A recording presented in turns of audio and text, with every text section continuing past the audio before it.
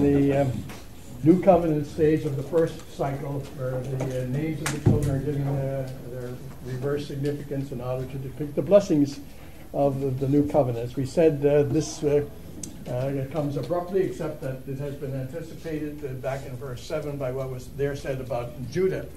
And and uh, incidentally, what is there promised about Judah that God is going to save them and, and so on.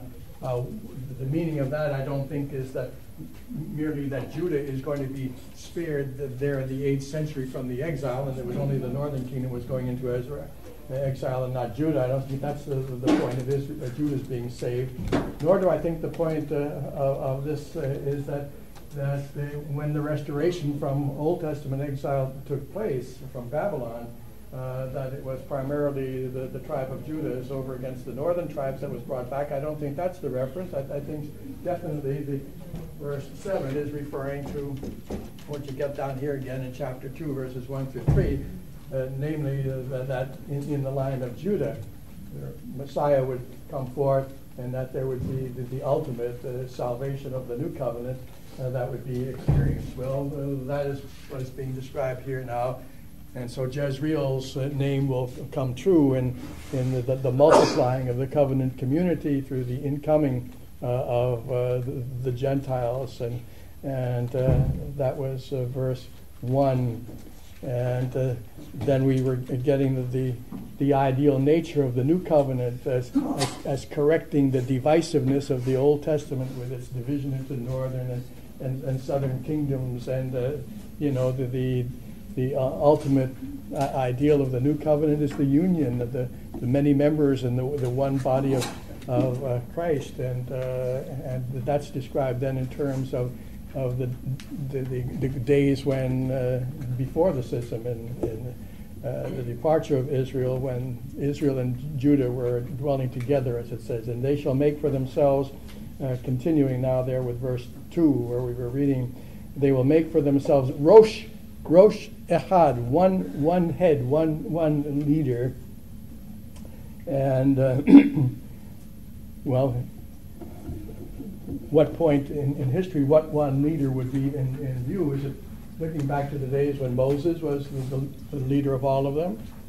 Uh, or is it uh, looking back uh, especially to the days of David uh, and the Davidic monarchy and, and days of David and Solomon be, before the uh, division. Those are both possibilities. They will make for themselves, of course, just one head. Now, when you move along to the, the third cycle, and you look to the fifth verse there in chapter 3, this idea of, of the one head is identified in terms of the figure. They will, they, they will return unto the Lord their God and unto David their king. And uh, so that, that's the typology, I guess, that's in view here with the one head. It's, it's Christ, the one head, the head of the body, uh, the, the, the church, the, the king in the line of uh, David. And they will make for themselves one head. Now, other prophetic idiom from uh, the Old Testament, and alu, they shall go up from the land, and for great will be the day of, of Jezreel. Now, the expression they will go up from the land has uh, been given a variety of, of, interpretations. They will go up from the land. Uh, the Israelites annually went up from the land up to Jerusalem. Huh? They went up to Jerusalem on their tributary pilgrimages uh, uh at the annual feasts.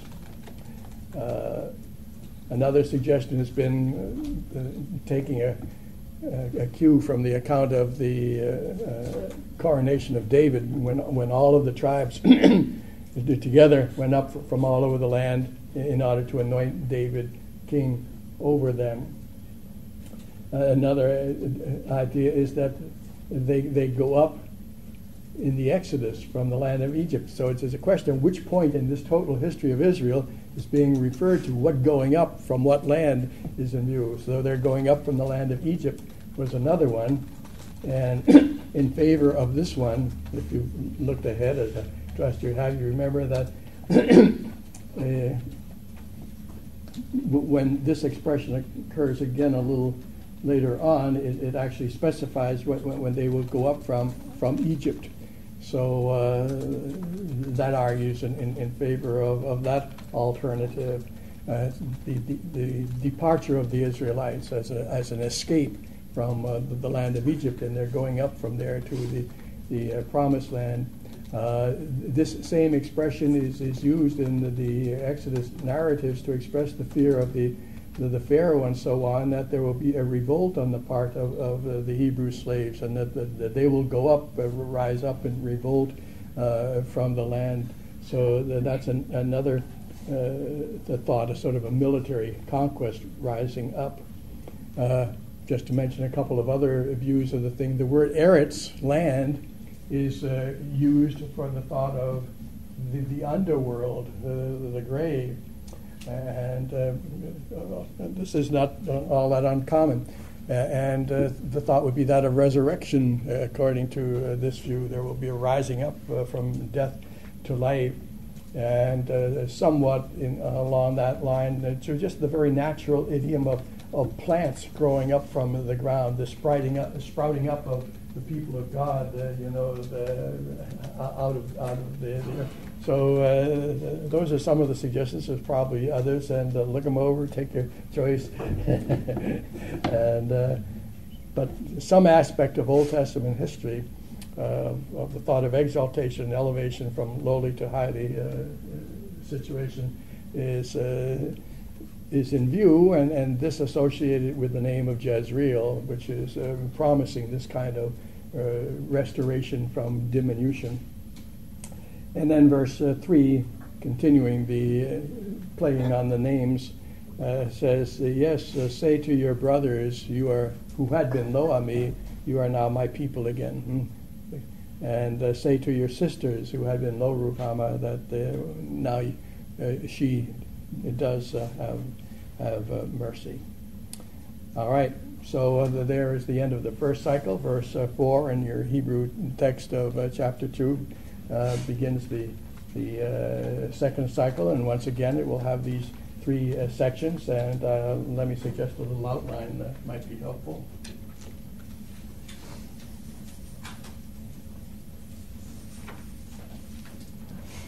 The A section will be versus, um, this is working there, huh? So there's the, the A section will be verses 4 through 7. and here we, we have God's complaint, his indictment, which is at the same time something of a warning uh, of what is going to happen. Uh, but with the primary emphasis on the indictment and uh, the, the where their sin's going to lead them gets woven in, but the, the, the primary focus in the A section is on the, the indictment rather than the, the, the punitive uh, outcome. But then in verses 8 through uh, 15, uh, the primary emphasis is on the, the actual threat of judgment. And once again, while dealing with the, judgment, uh, there is reflecting back on the cause of it. Uh, uh, but this time, the, the, the, emphasis is not on the sin uh, that causes it, but it's on the, the judgment uh, that results in it, uh, that results from it. And then the, the final section will be verses 16 through 25. Breaking this down just a little bit more, the middle section, the B section, uh, is subdivided, especially by the appearance of the word lakain. Uh, new little paragraphs are signalized uh, by this term lakain, which means uh, not just therefore, but verily, verily. Uh, uh, a, a, strong affirmation at the beginning of, of some assertion or other. And following that clue, we divide uh, verses 8 through 15, first into verses 8 through 10, and then into 11 through 15. And uh, verses 8 through 10. Now, mind you, this is the, the thread, thread of judgment. Judgment's being described. And uh, verses 8 through 10 describe uh, the, the, judgment uh, that, that they will be uh,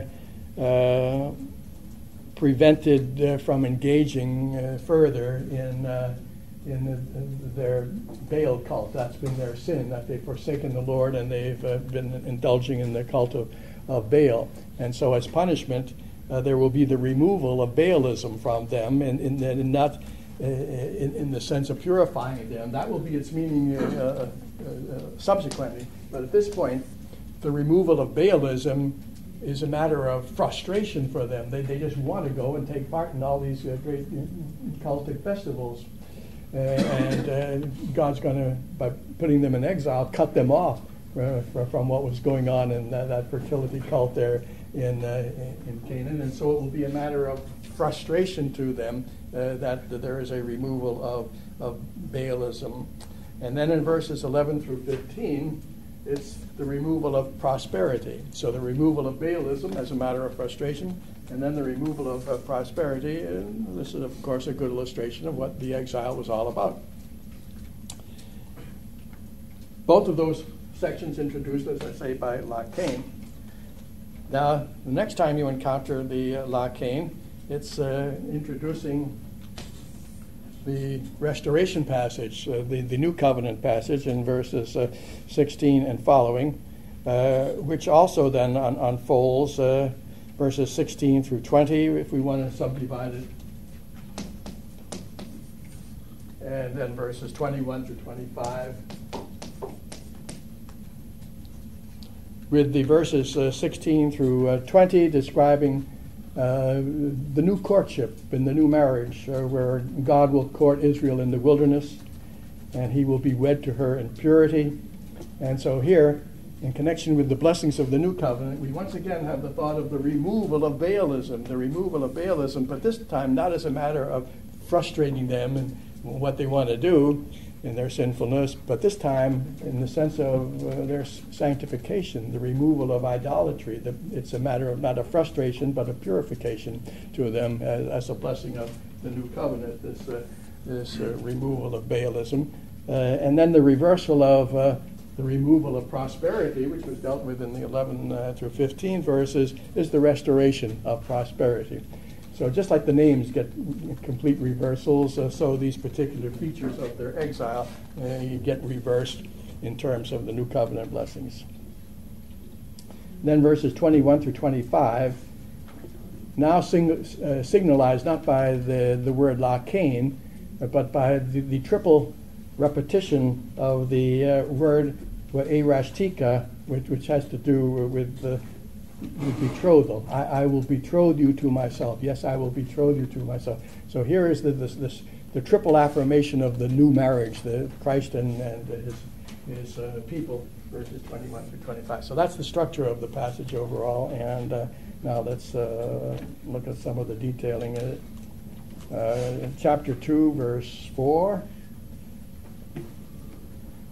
Well, this is beyond the part where I guess uh, you had required reading. The required reading was chapter 1, wasn't it, and chapter 3, uh, but not uh, chapter 2. But, so, but nevertheless, follow along in, in your Hebrew text. It begins with the lawsuit, riv, huh? Contend on, on its, the verbal form here, riv, contend, enter into the lawsuit with your mother yes, uh, yes, uh, revi, contend. And uh, so here we are the, the, stage of the indictment, the lawsuit, which uh, brings to their attention uh, their, their breaking of the uh, covenant. So the, the, children are now being asked to, as, to take the place in court against the, their mother. So contend now against your mother, contend. Ki he lo ishti. Now, how to read this? This, as I said, is the, the indictment, it's the, the threat of judgment here, not so much the actual uh, account of the execution of the judgment. And so I hesitate to translate contend with your mother, contend to the effect that she is no longer my wife, as if the divorce uh, were already affected, uh, perhaps something more in the way of a, a of a future, a, a threat. Contend with your mother that, that she will not be my wife, huh? that the husband wife relationship is in, in, in jeopardy, and that, that she will not be my wife, and Anoki lo Isha, and I will not be her husband. Notice the use of these words like, like Ish, not just for a man in general, but a husband specifically. And I will not be to her her husband. A, a separation, an exile, or a rupture of the covenant will uh, take place. And uh, the next word, wataser, then I would take more as, as, an exhortation. So bring this to her to her attention, the, the, the threat that separation, divorce is imminent, and let her turn aside as if it were, you, you know, still possible, possibly uh, to avoid this, and let her turn aside her whoredoms from her face and her adulteries from between her breasts. Let her stop engaging in, in this uh, uh, faithlessness, lest, now that, that is uh, what I think is significant at the beginning of verse 5, and which uh, gives the, the tone of of uh, exhortation and, and, threat rather than total execution to this particular section. Let her think on this, let her amend her ways, lest this calamity overtake her. What is the calamity? Namely, from the verb pashat, which means to, to strip away. So, lest I, I, I strip her naked, aruma, lest I strip her naked. And then the next verb is uh, a peyod verb, yatsag, and lest I set her forth as in the day Iwalada is a nifal uh, in, infinitive uh, construct from yalad, yalad to bear and nifal to be born. Uh, and so lest I set her forth naked as in the day that uh, she was, was born. And uh, going on and with, with the threat and, and I will set her like a wilderness. This is what will overtake her in the way of her covenant breaking. Uh, I will, from the verb seem, samtiha, I will set her, I will make her, I will turn her into a midbar. Now, wilderness here is the place of uh, desolation and, and, death, rather clearly. And continuing with, with that kind of imagery, uh, uh, sort of the realm of nature, in, impersonal uh, symbols, and now from the verb sheath. Uh, the first was from seam, now from the verb sheath, you get, and lest I should set her like a desert land, a parched, dry, fruitless uh, place. And then the imagery changes from the desert land to the, the person who is wandering and, and dying of thirst in, in, in the desert, as it says, and, and lest I should slay her, that's the verb mut, to die, hithiel, uh, consecutive, lest I should put her to death there from thirst. So here, here are the threats uh, that will, of the judgment that will follow upon covenant uh, breaking. Moreover, and now we get the, the, reference to the names again of the children. And uh, upon her children, verse 6, uh, two more verses in this uh, first A section. And upon her children I will not have pity for they are B'nai Zinunim. Now remember what I said earlier on, uh, that uh, one of the indications that the second and the third child, and Lo Ruhama, the second one has just been referred to, one of the indications that the second and the third uh, children are, are not Hosea's uh, is that here in this second cycle, it is immediately uh, conjoined to the names of the, the, second and third children that we have the explicit reference to the, the shameful behavior of, of their mother. And, uh, and so, having said, uh, I, I, will have not have pity, for they are, they are children of, of whoredoms. The explanation is, is given. Why are these children called children of whoredoms? Verse 7 because their mother has been unfaithful. She has committed harlotry and repeating the thought, it uses the, uh, the verb hara to conceive, and it presents the, the, the kal active participle, uh, ho-ra-tham, the one who conceived, she who conceived them, ho-ra-tham, and then the verb right in front of that, uh, ho vi sha, is from the verb bosh, which means to act shamefully. So these children are, are, are children of, are they're Yalde Zinunim, because the mother has been guilty of zana, whoredom. The one who conceived them has acted shamefully. And uh, now her shameful action, of course, is that she has deserted her husband and, and gone after her lovers. Uh, for she said, I will go after my lovers. And she attributes to her, her lovers the provisions that she has been enjoying all this time. She identifies her lovers uh, as the as literally the givers of, huh? The collective participle uh, construct plural.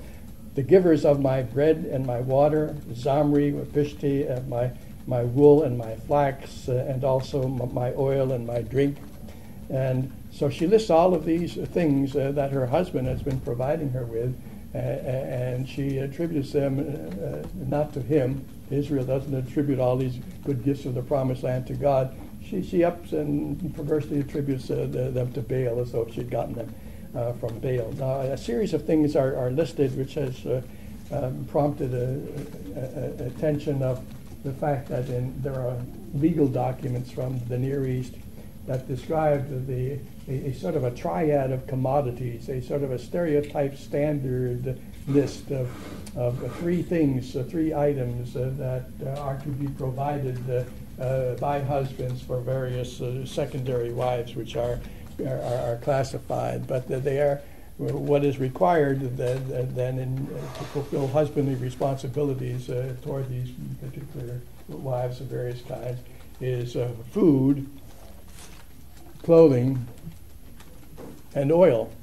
Uh, these three food, clothing, and, and, and oil uh, are not to be denied, whatever other the, the things uh, might be. And so food and clothing are more obvious, but, but the oil uh, with many uses. Uh, so uh, uh, the, the oil w- would be, you know, a medical insurance policy. Hmm?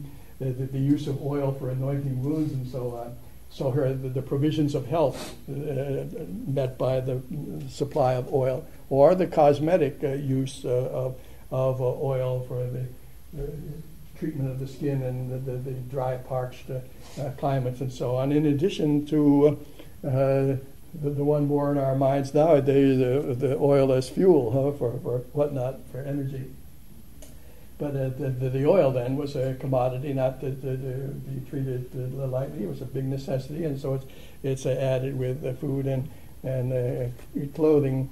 And there's a passage in uh, where is it in Leviticus or, or, somewhere where where once again it is speaking about a, the, the, same situation of of that which must be done for a a, a, a wife, uh, a, some sort of secondary wife, and it's it's food and clothing, and then the the third item that's mentioned is a rare word onah, which is often rendered marital uh, privileges, and, and so.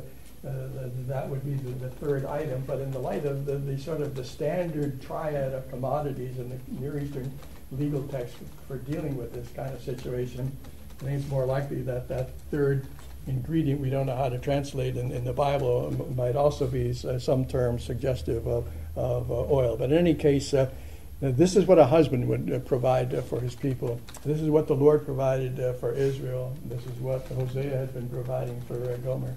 And uh, but in each case, uh, the, then the, these uh, husbandly provisions, you know, are it, it, are attributed to others outside. Totally uh, perverse, uh, lack of gra- gratitude, and, and, and, so on. So uh, I will go after my lovers. They're the ones who have been giving me all all of these things, and so that's the way then in which this first section closes. This is their sin. This is their sin. They're, their idolatry, their forsaking of the Lord. Now, then, the next verses emphasize the punishment that will befall them. And it begins, as you notice, with that word, word lakain. Therefore, now, this is what's going to result. The result, I'm going to go forth and judge them. The divine husband will uh, do this. Uh, Therefore, behold, I am, and now you have the verb suk, which means to set up a hedge. Uh, and it's uh, the participle. Behold, I am about to hedge up their ways with thorns. Now, remember, the thought here is the removal of Baalism. They just love to go to the, the, the licentious uh, cultic rituals and the festivications associated with uh, uh, Baal, and God's going to block the way. and so I'm going to set up a hedge and, uh, and uh, against their way with, with thorns. and uh, then the language of a wall with the verb and the cognate uh, now. And I will build up a, a wall against her. The pronominal suffix on the word for wall, good day, ra, being, uh, you know, with the sense of against rather than the possessive. I will build up against her a, a wall, and the result will be that uh, she will not be able to find her paths, her paths down the, the, the trail to the uh, Baal cult. And verse 9, and she will thus pursue her lovers. She'll still want to go after her false gods, but she won't be able to overtake them anymore. God will frustrate her in, in this desire. They'll be taken to exile far away from the, the land of Canaan and the, the cult of Baal there. She will not be able to overtake them. She will seek them, but she won't find them. And now we have an interesting statement that, that uh, you know, it might sound something as if she's like the prodigal who in the far country comes to her senses and comes back, but I don't think that's really what is in view, that there's genuine repentance and so on. It's just a sort of a self pity of how badly off uh, she is here in exile. And she will say then, cut off from all of these things, I will go and I will return, L-E-C, unto my husband, Harishon, the first, or temporal, as it was at the first.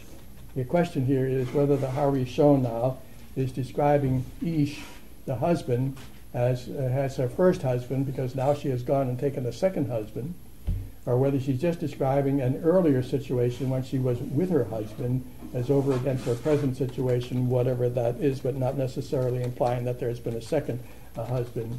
So how you take this uh, will determine in part how you see the the separation too of uh, of uh, Hosea and, and and Gomer as to uh, whether in, in, you know because you're going to have to make the parallel between God and Israel and, and, and, and Hosea and Gomer.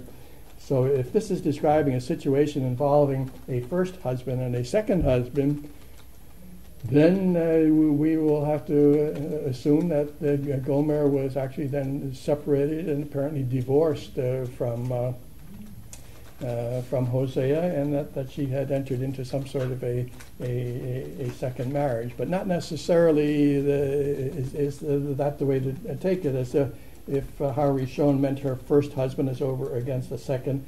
As I said, it might also just be adverbial. She's describing the two situations then and now. And as a matter of fact, look on to the, the next clause, which is temporal, because he says, I was better off as meata, I was better off then than now. So that may be the, the clue as to the force of the Harishon. Then, at the beginning, as over against my present situation, and then there wouldn't be a, a necessary implication of a, a second husband uh, having uh, been uh, involved.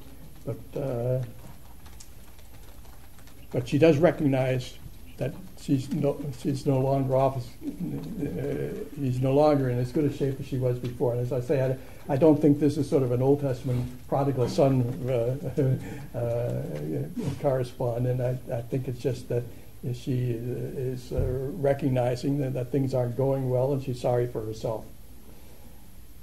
Verse 10, underscoring again the sin that, that will lead up to this uh, uh, punishment. She did not yada. Or yada, you all know, means to know.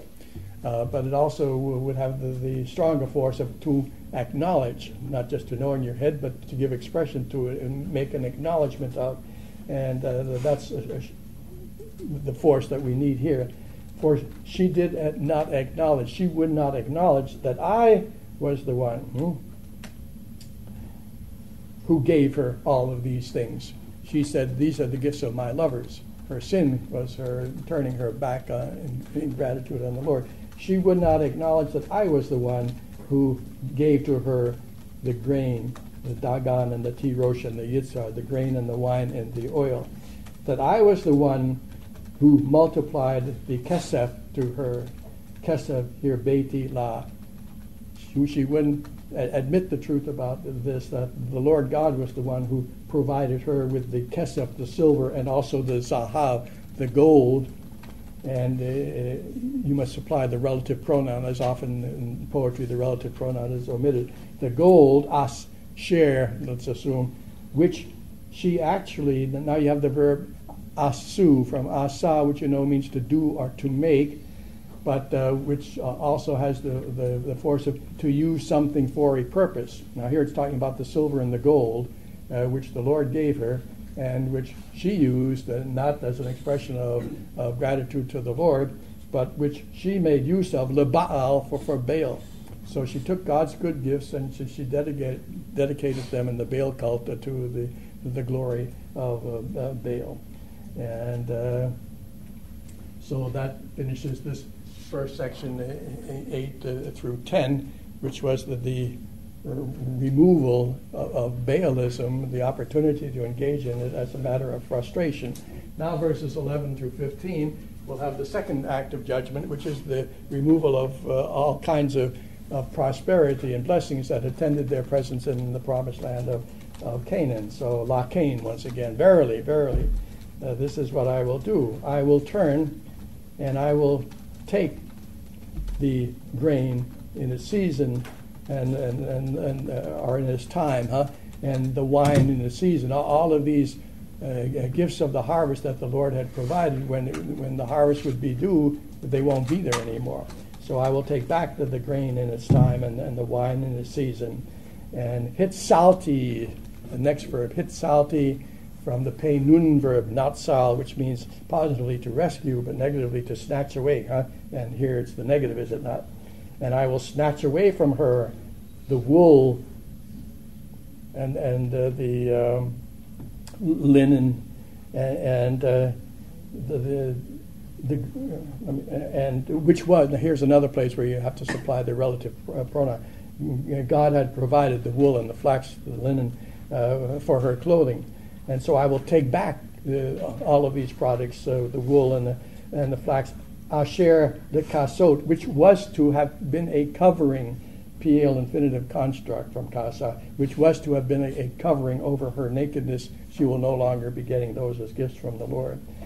And uh, now, instead of providing a covering for her, I will expose her, her, her nakedness.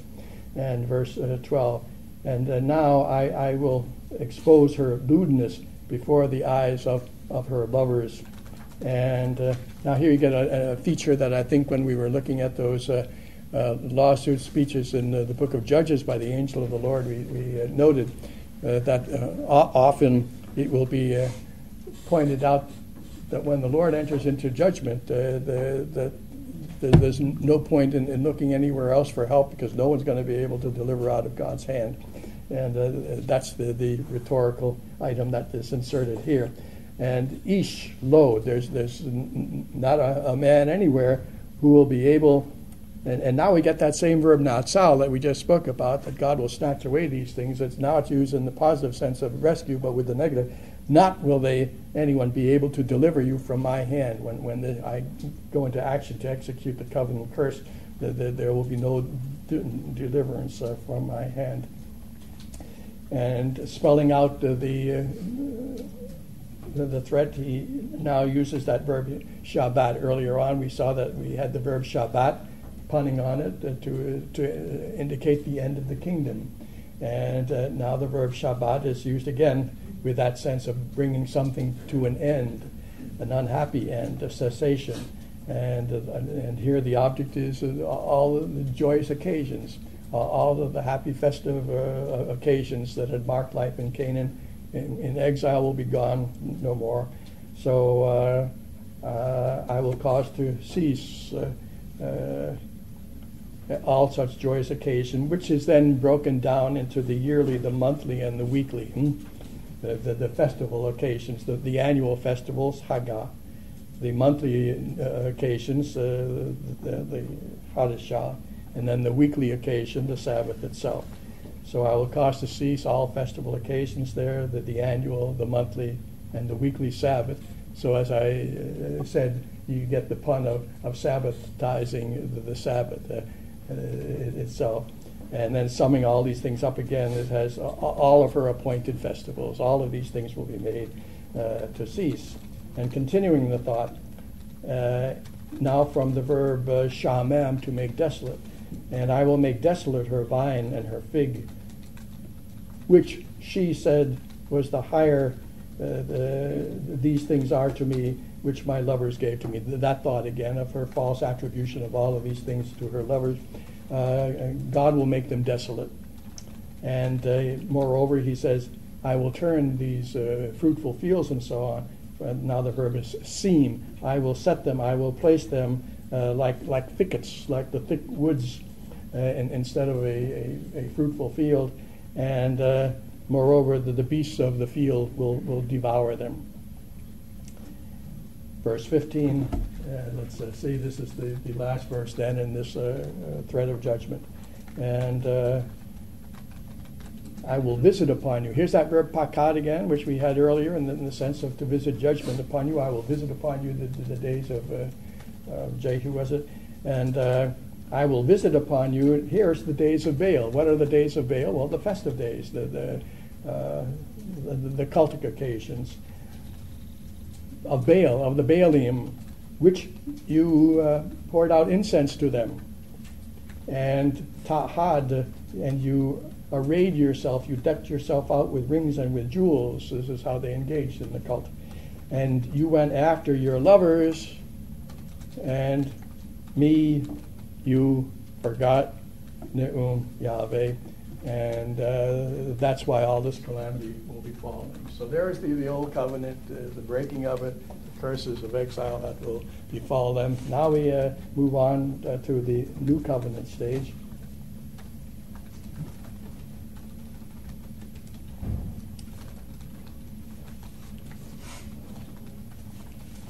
with verse 16, and it too begins with that verb lakain, new paragraph. And this extends on through the rest of the chapter, so it is quite a lengthy one, the, this uh, C portion, verses 16 through 25. Once again, moving abruptly beyond uh, the exile thought uh, to the thought of the new, new covenant. Verily, behold, I am about mipateha to persuade you, to, to woo you, to allure you. The picture is of, of God wooing the new bride to, to himself. Uh, and uh, the verb is pata. We discussed another rare root pata when we were uh, doing Noah's oracle. And uh, the thought, may, may God open it. There was a verb pata, which we said should probably be translated, may God open wide the, the tent flaps uh, for the Japhethites to come in. Now there is a second uh, root pata, which has the, the, the, force of to coax someone to do something, to persuade them to do something in, in this connection of, of, of, of wooing a wife, uh, to, to allure her. And so, behold, I, I am alluring her, and, and uh, I, I, will bring her forth, the Hiphil form from uh, Halak, I will bring her forth into the, the wilderness, and I will speak literally unto her heart. What's the imagery? Okay, now remember when we're in this section, we're interested in prophetic idiom. We're seeing how all kinds of events in the Old Testament history are, are, are laid hold of to depict the, the, the, blessings and the glories of the new covenant. Which one is this? What, what Old Testament uh, uh, episode is in, in, in, view here? I will bring her forth into the wilderness, and uh, I will speak unto her heart. I will speak tenderly to her. Just uh, a couple of comments uh, first, on, on, that second point, I will speak unto her heart. What, what does that mean? If you look up in Judges 19, verses 1 through 3, you get a good illustration of the force of this idiom. Uh, this is where the Levite, uh, uh, whose uh, wife has gone back to her father, goes after her. And uh, and is trying to persuade her to come back with him, which eventually he succeeds in doing, but with very tragic results. But meanwhile, he he comes to her and, and he and this is the expression he spoke unto her heart. He tried to persuade her of why she should come with him. Well, here the Lord is doing it to, to his bride. He, is be reconciled to come come uh, with, me, and it's in the wilderness. I will bring her forth into the wilderness. Now, just above the wilderness was used as a as an image of, of, of desolation and so on. I will slay her with thirst there, and then I will turn her into a parched wilderness. Now, that doesn't seem to be the force of the, the, the wilderness here. And uh, the wilderness is uh, the place to which the Israelites went uh, uh, as they went out of Egypt in order to go to the mountain of God, huh? To serve Him there and to enter into the great covenant assembly uh, at Sinai. Uh, there in the, the, wilderness. And so I think that's the force of it here. I will bring her to the place of trysting, uh, of, of engagement, of covenanting together in, in, in marriage. And uh, so I think that's where our thought should, should be. It's at the, the Exodus, Exodus to Sinai, to, to the place of, of, covenant making in, in the wilderness.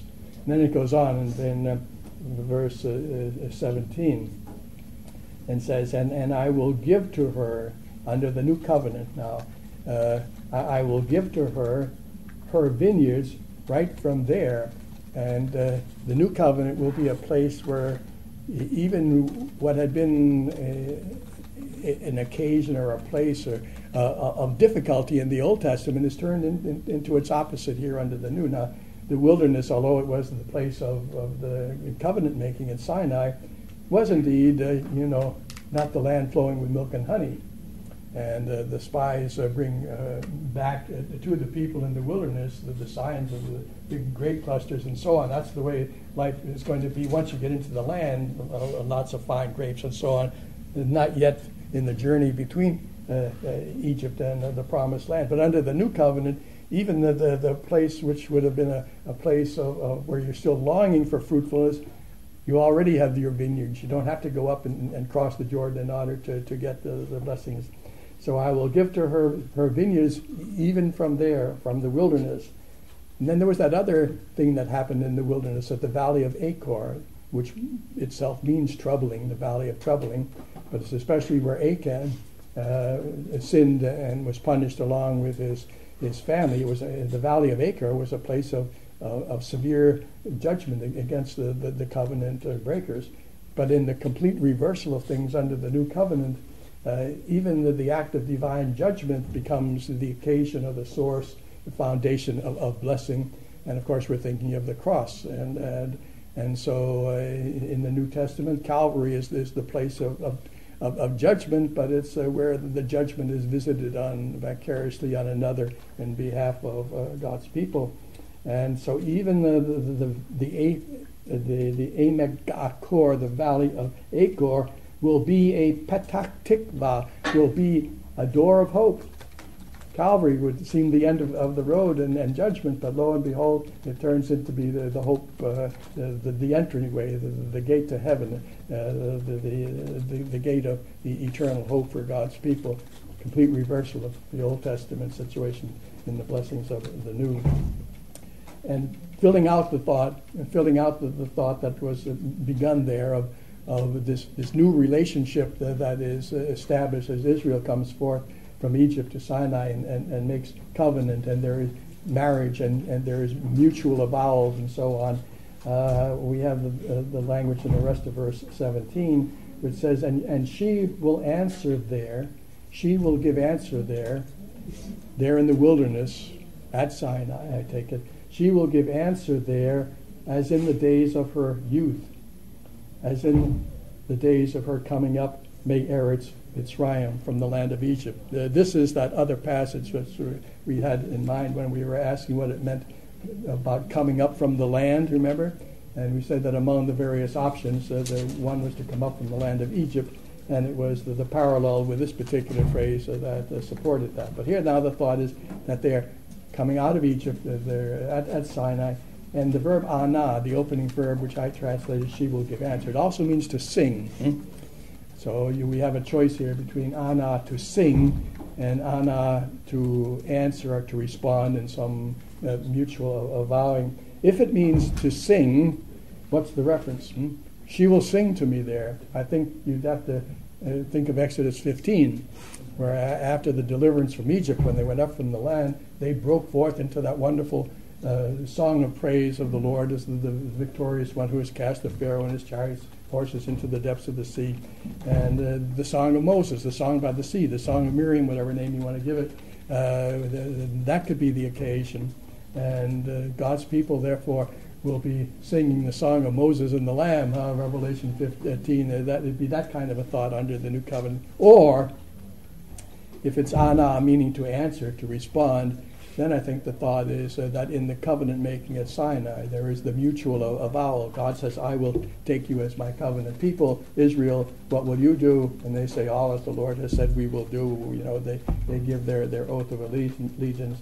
And so that would be the, the force of it, uh, as in the days of her youth uh, when she came up from uh, the, the land of e- Egypt. And uh, let me just finish uh, the, then the, the, that 18th verse. And it shall be in that day, saith the Lord, that you will call me Ishi, my husband. And here's part of the mutual avowal. Israel, who formerly would not acknowledge the Lord uh, properly, now will acknowledge him. Yes, uh, you are Ishi, my husband. And uh, she won't be substituting the, the Baal gods for Yahweh, and, but she will recognize Yahweh as her husband, and, and not will she be calling uh, me and any more Baal, uh, as it goes on to say, because God will be taking the names of the Baalim out of her mouth. Here, here's the removal of Baalism we spoke about, uh, in the sense now of, of purification, is over against uh, frustration earlier on. And I must uh, leave it there and uh, finish off. And the, the third chapter then is the one that you might want to be thinking about and uh, uh, how to handle, you see, that problem of that uh, reunion there, the reunion of, of Hosea and Gomer is used in order to depict uh, not the new covenant, uh, uh, but the, the judgment on uh, the old covenant.